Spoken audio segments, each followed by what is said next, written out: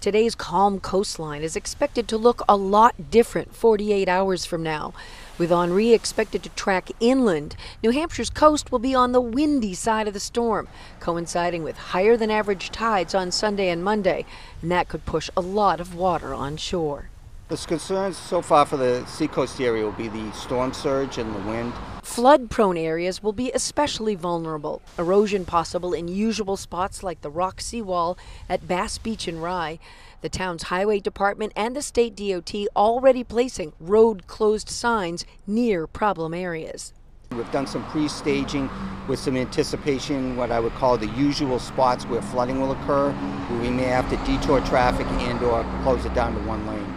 The Coast Guard warning mariners to take precautions, pull trailerable boats out, check mooring lines, or move vessels to safe harbors. Some fishermen waiting for a clearer sense of Henri's track before they take action. I mean, worst case scenario, you know, you haul out wait for the storm to pass. Everyone, mariners and residents alike, are urged to monitor conditions and have a plan.